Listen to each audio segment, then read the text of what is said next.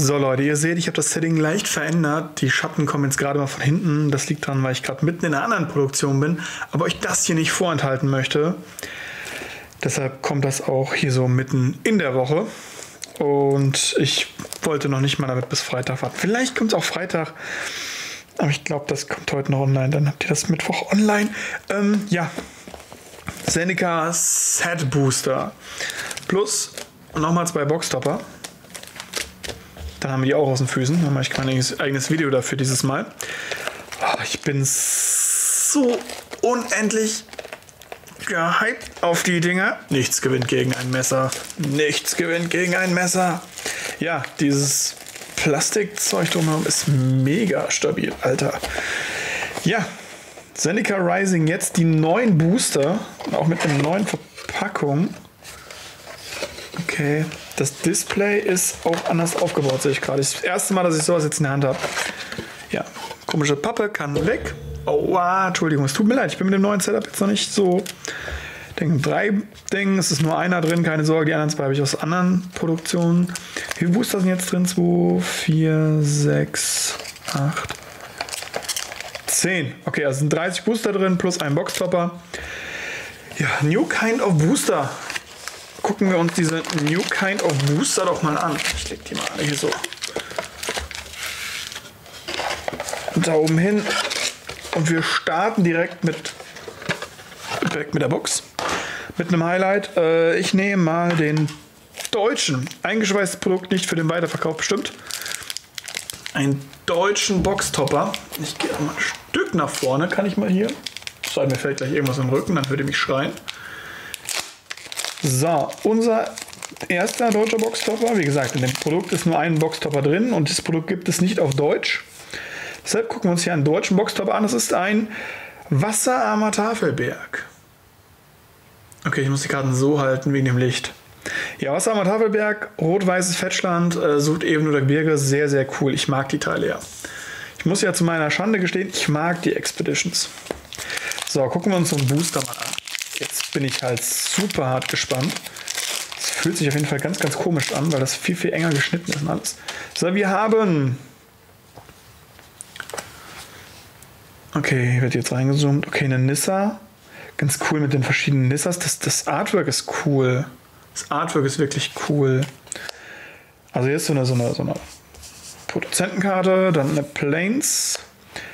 Dann haben wir eine Common, wie immer bei solchen Produkt, großen Produktopenings. Ich gehe nur, eigentlich nur die Rares durch. Ich gucke mir jetzt aber beim ersten Paar mal an, wie das so aufgebaut ist. Rot, Rot, irgendwas mit Battle, Ausrüstung. Okay, Kreaturenpumpen. Hier sind schon Uncommons dabei. Sie haben vier Commons, zwei, oh, drei Uncommons, vier Uncommons, fünf Uncommons.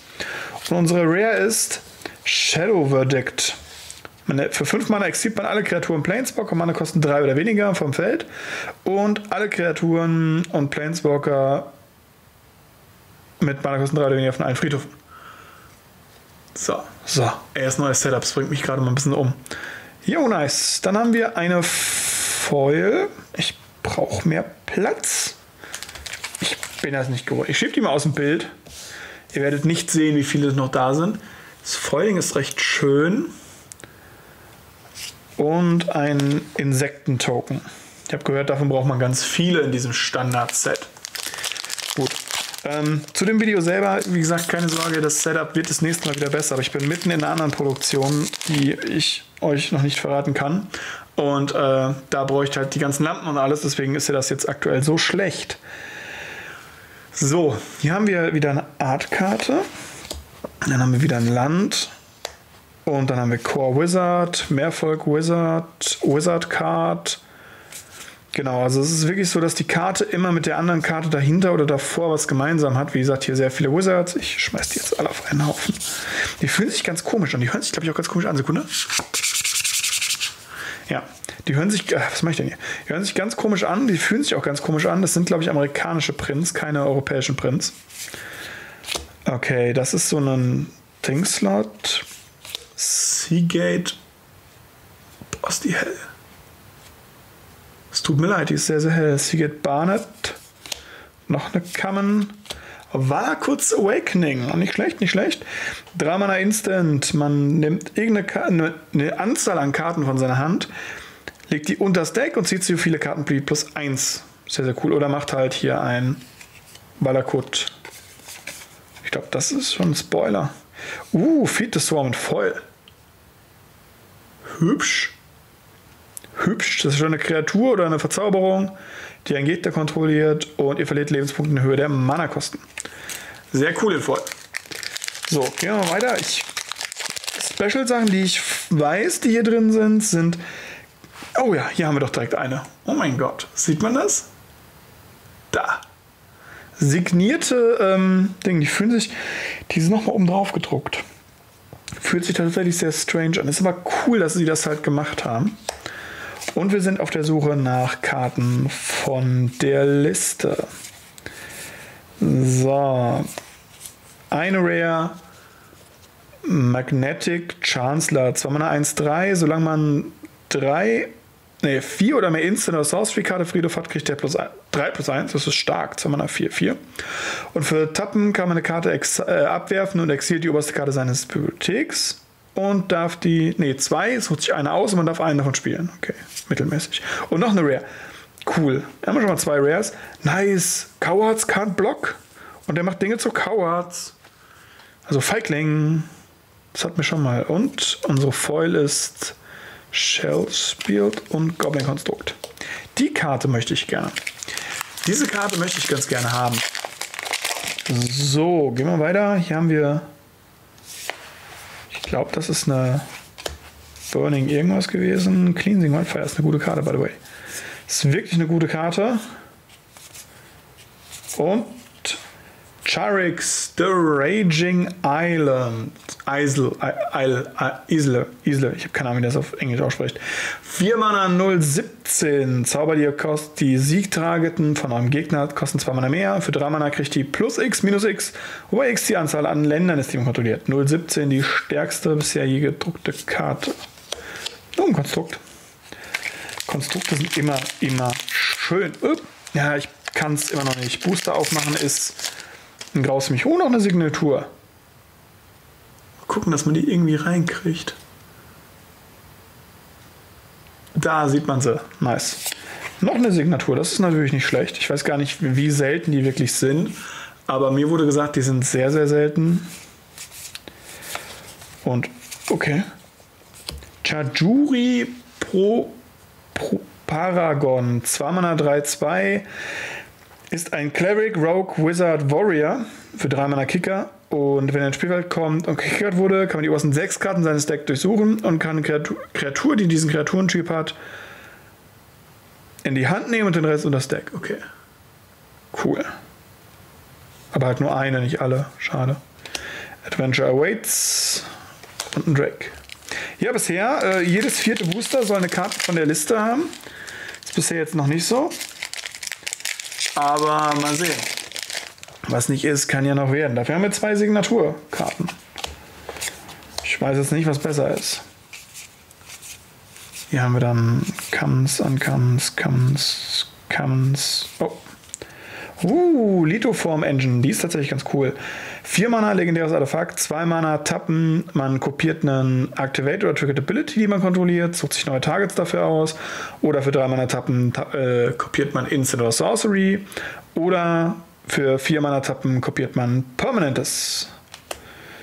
Blood Price, der ist völlig unscharf. Und wieder keine Liste. Hm. Vielleicht gibt es die Listkarten hier gar nicht drin. Bisher haben wir auch noch nichts so Geiles gehittet.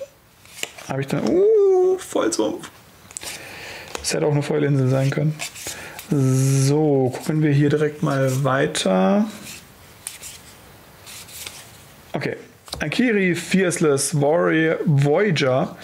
3 Mana, 3-3, wenn, wenn die einen Spieler angreift und hier mehr als.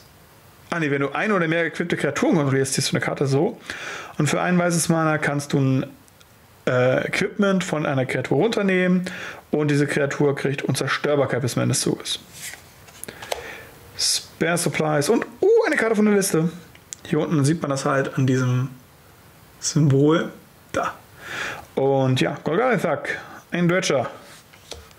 Tue ich mal dahin. Ist was Besonderes. Ist von der Liste. Die Liste.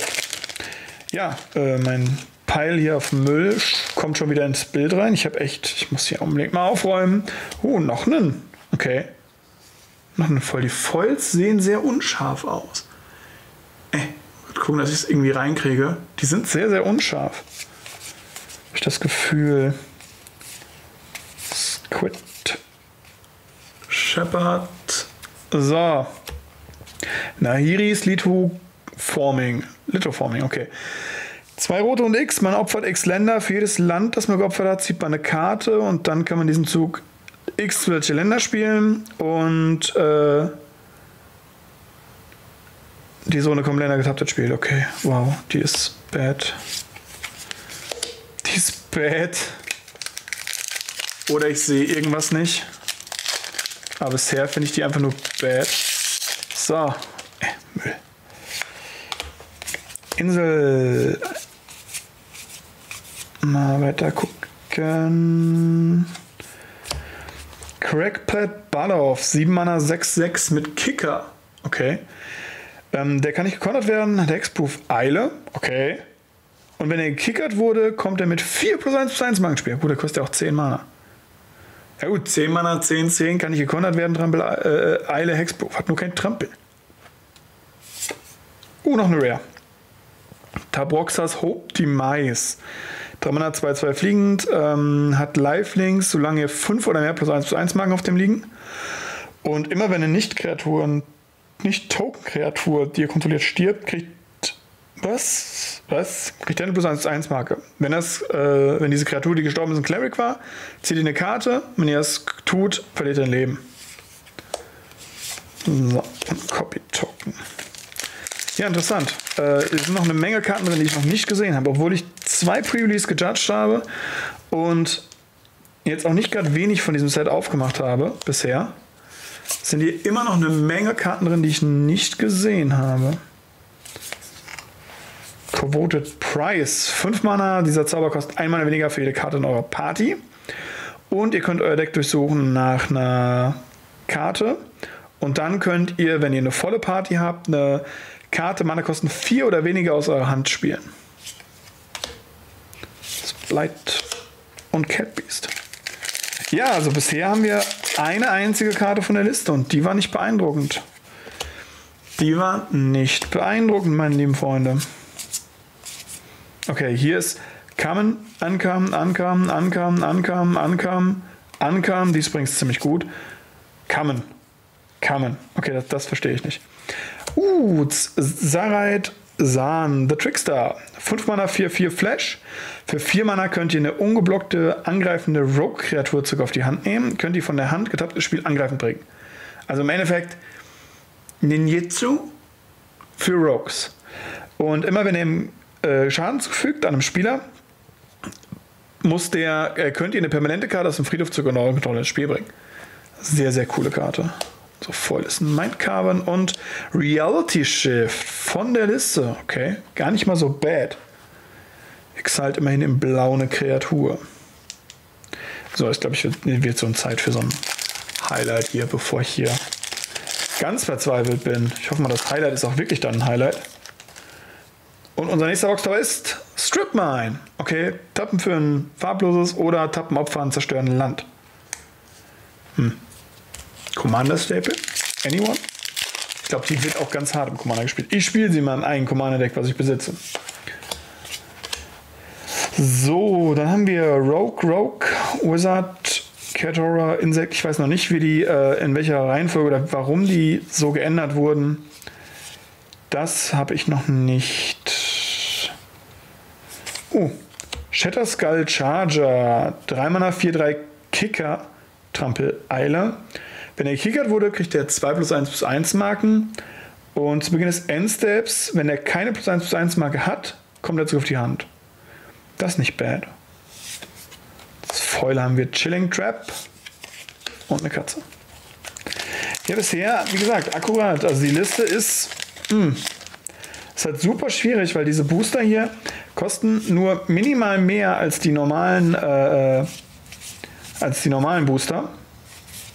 Haben aber so eine Chance auf so hohes Value. Oh mein Gott. Branch Love Pathway, der grün-weiße Pathway. Einmal in Full Art hier. Einmal in Full Art hier. Was ist das denn? Sekunde. Äh, unsere Foil ist ein Skycat. Und was bist du denn? Äh, first player to win is the winner. Magic Minigame, Strictly Better, ist das fünfte von fünf Minigames. Ähm, ja, nee.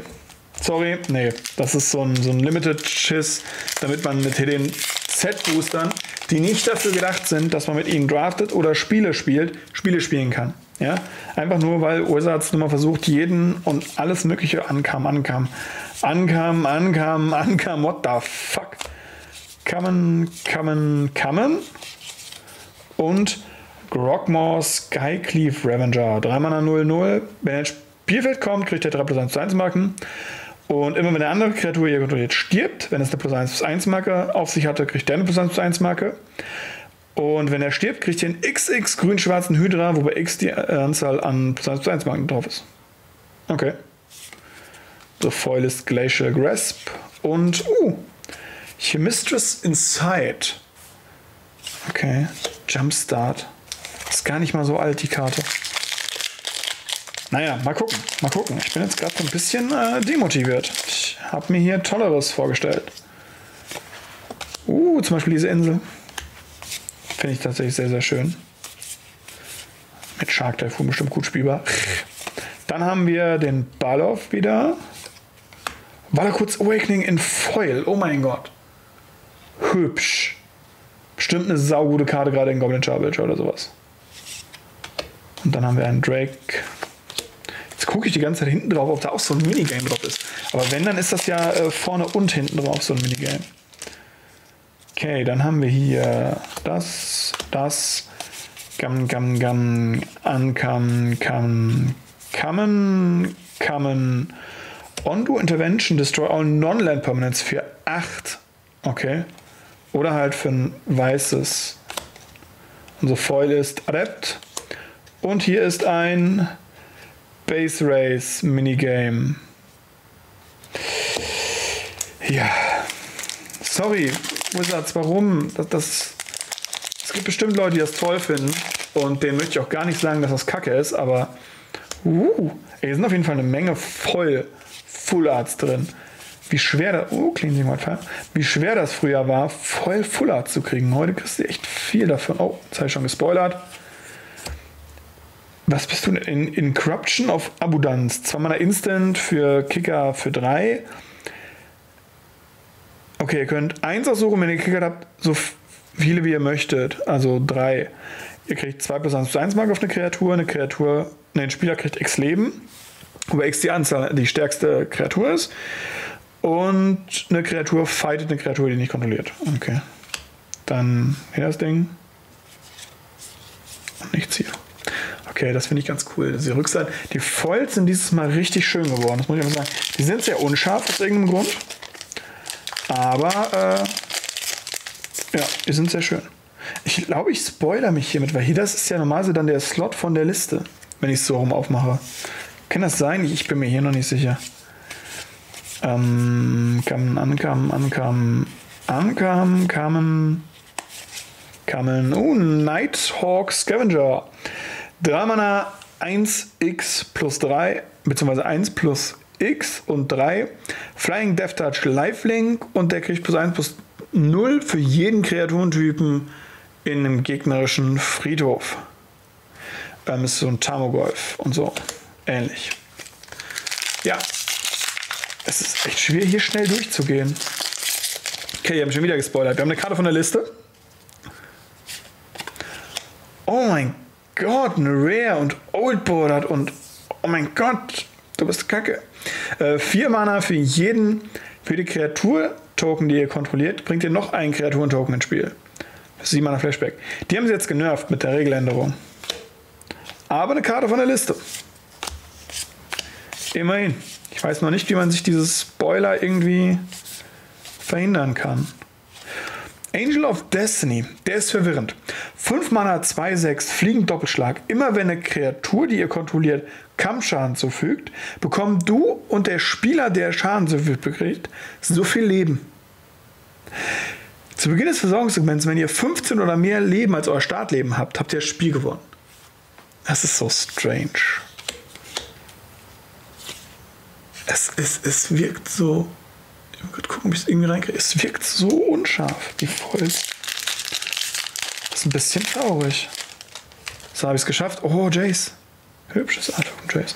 Aber es gibt also beide Jace Artworks als diese Seneca-Dinger. Uh, okay. Hier schon eine Rare.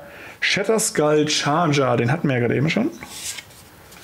Throne of Makindi. Tappen für ein farbloses, Tappen für ein Charge Counter und tappen Charge Counter runternehmen und die kriegt man zweimal in beliebiger Farbe und äh, nur für Kicker. Das wird nichts wert sein. Dann haben wir eine Foil Into the Royal. Ich wusste gar nicht, dass die Reprint haben. Es sieht so schlimm aus. So richtig off-center, aber es kann auch einfach sein, dass ich mich jetzt mittlerweile daran aufhänge. So, was ich jetzt mal gucken möchte ist, steht hier eine Karte drauf. 81 Stück gibt es davon. Heilige Kacke. Das 81 Stück ist eine Menge. Archon of Emeria, 3 Mana 2-3 fliegend. Jeder Spieler kann nicht mehr als einen Zauberbrunnen spielen und Nicht-Länder kommen bei, bei jedem getappten Spiel drum. Wenn irgendjemand fragt, nein, der ist nicht für Devon Texas. Bubbles näher, ist eine gute Karte im Limited. So. Dann haben wir jetzt zwei Drittel durch und echt erst drei Karten von der Liste. Bei 40 Karten müssten Average so 6, 7 davon nur bei sein. Schon wieder gespoilert, Jahr habe ich. Oh boy. Ich bin schlecht da drin. Okay, Pathway, Rot und Grün. Ja. Foil Token. So. Gucken, ob ich es irgendwann mal hinkriege, mich nicht zu spoilern. Aber ich glaube tatsächlich nicht. Ich bin dafür einfach zu bad. Okay. Den hatten wir auch schon. Language of the Week. Ja, also, ähm, das ist jetzt ein bisschen äh, underwhelming. Ein bisschen, bisschen traurig. Das ist eine hübsche, das ist ein richtig hübsches Artwork. So. Linvala. Okay, Linvala, Shield of the Seagate. In Wala hatte doch eigentlich was anderes zu tun. 3 fliegen zu Beginn des Combat Damage von eurem Zug. Wenn ihr eine volle Party habt, könnt ihr nicht dann permanentes, das euer Gegner kontrolliert, aussuchen. Und bis zum nächsten Zug kann diese permanente wenigstens weder angreifen, noch blocken, noch aktivierte Fähigkeit benutzen. Okay. Und ihr könnt die opfern und Hexproof und Zerstörbarkeit aussuchen und eine und eure Kreaturen kriegen diese Fähigkeit. Die ist gut. Uh, Zahntrickster. Und ein Ton von Makandi in Feuerwehr. Wenn das jetzt noch eine Liste wäre, dann hätten wir den Dream. Weil man kann bis zu vier Rares bekommen. Wir haben es gerade drei gekriegt. Das wäre jetzt der Dream gewesen. Oh, das wäre jetzt so schön gewesen. Ich mache jetzt diesen komischen Box drauf auf. Das ist, wird das halt unsere nächste Rare. So, was haben wir hier? Valakut the Molten Pinnacle. Okay. Ach, das ist ein Valakut. Okay, ich wusste gar nicht, dass der auch da drin ist. Interessant. Ja, dann äh, gucken wir uns mal weiter an. Valakut ist, glaube ich, auch nicht so der krasse Hit. Gehen wir mal weiter. Vier Rares, das wäre es gewesen. Oh, Clearwater Pathway, blau-schwarz. Komischer Squid. Und, oh, eine Liste. Kithkins kriegen bloß 1 zu 1. Okay. Ja, das gerade eben, das hat mich so gehypt. Ich bin ein bisschen raus. Also, ist ein bisschen schade. Das, das wäre jetzt mein absolutes Traumhighlight gewesen. Mal das Beweisen, dass man vier Rares ziehen kann. Die Chance dazu ist so minimal. Drei ist auch schon minimal, aber. Crackmore. Uh, was bist du denn? Skyclave Shade. 203-1 mit Kicker. Kann ich blocken? Und wenn er kickert wurde, kriegt er 2 plus 1 plus 1 Marken. Und Landfall, ihr könnt den aus eurem Friedhof casten. Aha, das ist nicht bad. Das ist wirklich nicht bad. Aber ihr seht ja, also Liste ist tatsächlich sehr wenig drin, aber die Anzahl an Rares, die ihr pro Booster bekommt, ist tatsächlich schon, schon hoch im Vergleich.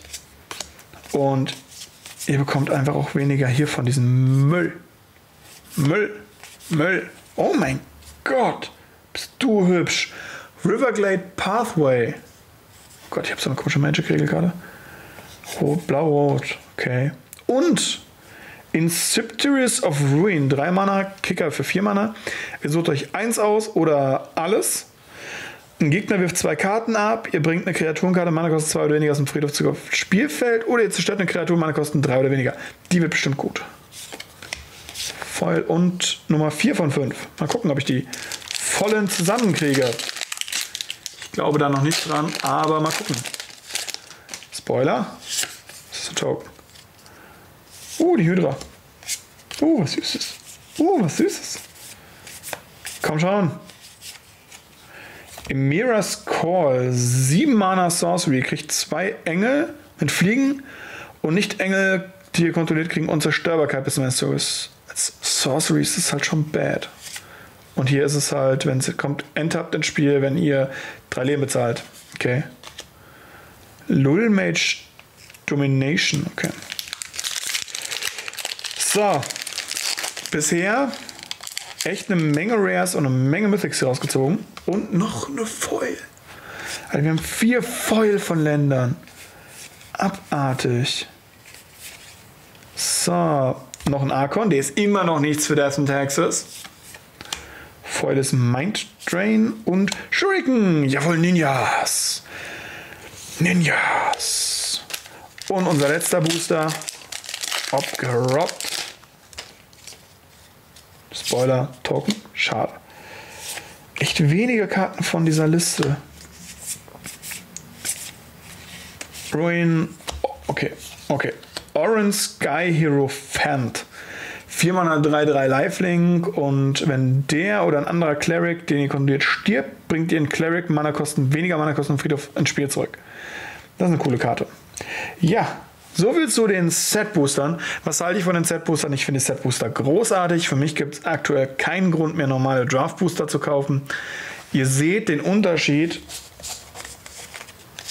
Das sind 36 normale Booster. 2, 4, 6, 8, 10, 14, 16, 18, 20, 2, 4, 6, 8, 10, 12, 14, 16, 17, 37 aus 30 also habt ihr im Endeffekt nur sieben Rares dazu bekommen.